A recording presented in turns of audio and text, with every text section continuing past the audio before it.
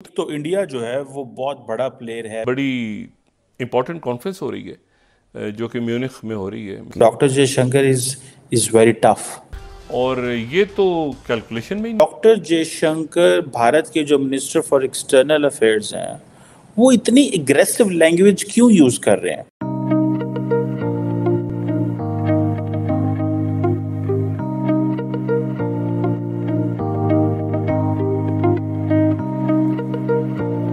कहा यह जा रहा है कि अगले 48 घंटों में तीन चीज़ें हो सकती हैं। अमेरिका कोलैप्स हुआ। जनाब इमरजेंसी लग सकती है। मेरे ख्याल से ये तकरीबन सात आठ महीने के बाद एक कोई फेस टू फेस एनकाउंटर हुआ है जब से इंडिया ने चाइना के साथ ताल्लुकात को फ्रीज कर दिया है।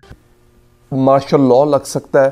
चाइना स्टिल क्राइसिस में है चाइना का बैंक सिस्टम कोलैप्स हो गया। चीनी सदर के खिलाफ नारेबाजी के साथ साथ लातों मुक्को घूसों का जवाब दिया जा रहा है।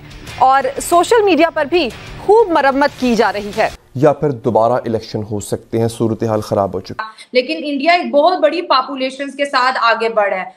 बहुत सारे मामला तो बहुत पीछे हैं हम बहुत सारे मामला। हम इंडिया ने श्रीलंका को नॉर्मल होने में मदद दी है। ये बहुत बड़ी बात है। हम तो आइसोलेट हो चुके हैं। आप कह रही है कि हम हो जाएँगे। हम हमारी तरफ़ तो कोई देखने गवारा नहीं करता। कोई मुल्क हमारी तरफ़ जो है वो वजह क्या है कि वजह यही है कि उन्हें पता है कि ये मुल्क जो है, ये तबाही के दहाने पर खड़ा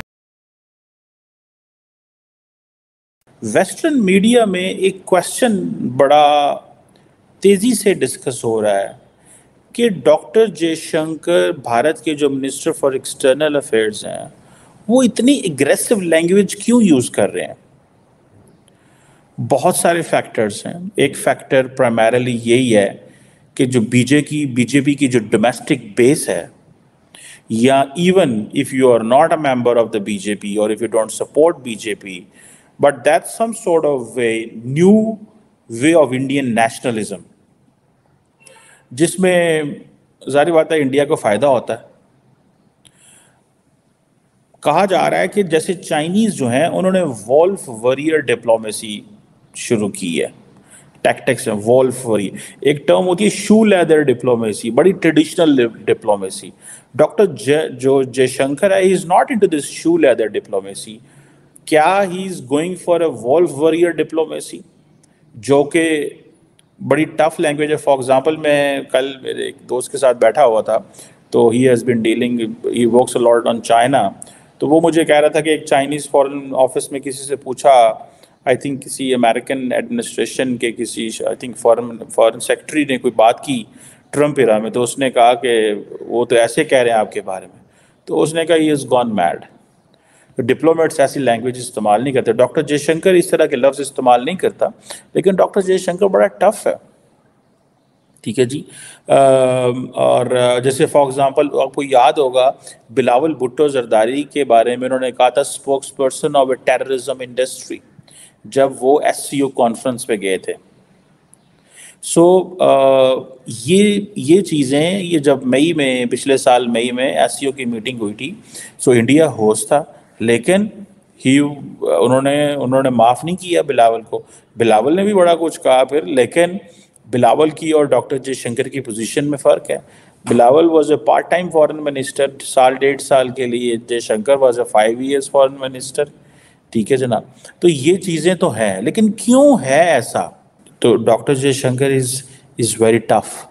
हर बात ये कह रहे हैं। और किसी बंदे से तो मैंने ये भी सुना that doctor Jaishankar is known as India's Kissinger Henry Kissinger थे ना इज़ वेरी स्टेट्समैन ठीक है? वैसे हेनरी केसेंजर का जो इंटरव्यू ओरियाना फलाशी ने अपनी एक बुक थी द इंटरव्यू विद हिस्ट्री में किया है यू वॉन्ट फाइंड उसकी करेक्ट करेक्टराइजेशन जो है वो कहीं भी नहीं आएगी। सो इंडिया जो है वो कहते हैं कि भाई वो अब एक इंडियन पैसेंजर है। और एक टर्म बोली जाती है। और आई थिंक डॉक्टर जयशंकर भी अपने आप को यही कहते हैं प्रैग्मेटिक रियलिस्ट ठीक है? सो हार्ड को रियलिज्म पे यकीन करते हैं, लेकिन इन अ प्रैग्मेटिक वे कई लोग आइडियलिस्ट होते हैं, कई लोग रियलिस्ट होते हैं। सो uh, ये क्वेश्चन आता है कि भाई ये दे आर प्रेगमेटिक रियलिस्ट और जो प्रेगमेटिक रियलिस्ट होते हैं मैं समझता हूँ वो सबसे ज़्यादा स्मार्ट होते हैं। और तीसरी चीज़ ये है कि उनकी मुलाकात हुई है on the sidelines with the Chinese foreign minister Wang Yi मेरे ख्याल से ये तकरीबन सात आठ महीने के बाद एक कोई फेस टू फेस एनकाउंटर हुआ है, जब से इंडिया ने चाइना के साथ तलुकात को फ्रीज कर दिया है। तो अभी तक तो मुझे तो नहीं पता चला कि वो साइडलाइन में जो डिस्कशन हुए हैं, उसका कॉन्टेंट क्या था। मतलब it was not for a very long time so it was not like a serious discussion but the fact के इवन प्लेजेंट्रीज वेर एक्सचेंज और जो आप वीडियोज़ और फ़ोटोज़ जो देख रहे हैं आप दोनों का it look as if it was a pleasant exchange that is a, that is an interesting development के मतलब दोनों जानते हैं कि भाई सारे कैमराज हम पर होंगे और ये इसका डिस्कशन हमारे मुल्क में भी होगा उनके मुल्क में भी होगा दुनिया में भी होगा।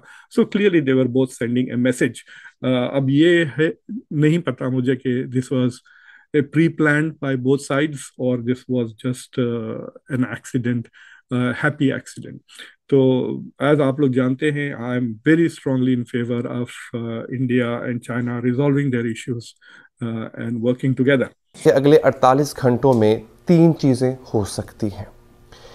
क्या चीज़ चीज़ें हो सकती हैं? अल्लाह ताला खैर करे। कहा जा रहा है जनाब इमरजेंसी लग सकती है मार्शल लॉ लग सकता है, या फिर दोबारा इलेक्शन हो सकते हैं, सूरत हाल ख़राब हो चुकी है।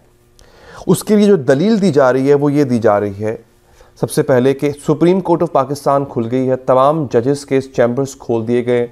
आला अदलिया के जजेस की आमद का सिलसिला शुरू हो गया है। मुल्क भर के तमाम एयरपोर्ट्स, अहम मकाम का कंट्रोल सिक्योरिटी फोर्सेस ने संभाल लिया है। SSU police, rangers high alert हैं। तमाम अहम इंटरनेशनल और नेशनल प्रेस क्लब्स और दीगर जगहों पर कानून नाफिज करने वाले इदारों की बहुत भारी नफरी तैनात है। वाटर कैनन गाड़ियाँ भी मौजूद हैं। अल्लाह खैर करे, अल्लाह रहम फरमाए, आमीन। ये सूरत हाल इस वक्त जो है वो बताई जा रही है। इनमें से एक चीज़ तो हुई है, एक चीज़ हुई है, वो ये हुई है, वो जो निशानियाँ होती हैं ना, जो एमरजेंसी की तरफ़ या किसी भी गैर मामूली हालात की तरफ़ जा रही होती है, उनमें से एक निशानी है जो पूरी हो चुकी हुई है, वो ये है कि ट्विटर को बंद कर दिया गया ये वो निशानी है जो आज से पहले कभी अमल में नहीं आई और आप शायद ये सोच रहे हो कि ये कोई इतनी बड़ी बात नहीं है। ट्विटर ही तो है, नाजरीन। याद रखिएगा, ये बात मैं हर दफ़ा कहता हूँ, आपका मेन स्ट्रीम मीडिया कंट्रोल्ड है। जब कभी इससे पहले मार्शल लॉ लगा या ऐसी कोई बात हुई तो होता ये था कि पीटीवी पे कब्जा कर लिया जाता था। अब ऐसा हो नहीं सकता, क्योंकि चैनल्स बहुत ज़्यादा हैं, लेकिन मैं आपको ये बता दूँ, वो चैनल्स कंट्रोल्ड हैं। उन चैनल्स में इतनी हिम्मत नहीं है, इतना तप्पड़ नहीं है कि वो खुद से कुछ ऐसा कर सकें या हुक्म की खिलाफ वर्जी कर सकें। वो बिल्कुल कंट्रोल्ड है। मैं आपको वसूख से कह रहा हूँ। रह गया पीछे सोशल मीडिया अब उस सोशल मीडिया में भी जो ट्विटर है, वो एक ऐसी जगह है जहाँ पे आपके पाकिस्तान का हर सहाफ़ी बैठा हुआ है। जो खबर है, वो शायद टीवी पर लेट पहुँचती हो, लेकिन वो ट्विटर के ऊपर, या एक्स जिसे कहते हैं, उस पर सबसे पहले पहुँचती है। ट्विटर बंद है। ट्विटर पिछले 24 घंटे से बंद है और न जाने कितनी और देर बंद रहेगा। जितने भी सहाफ़ी हैं, वो खबर को नहीं पहुँचा पा रहे। अलबत्त दूसरा ज़रिया है यूट्यूब लेकिन इसका भी हम, इसकी भी कसम नहीं खा सकते कि ये कब तक ऑन रहता है।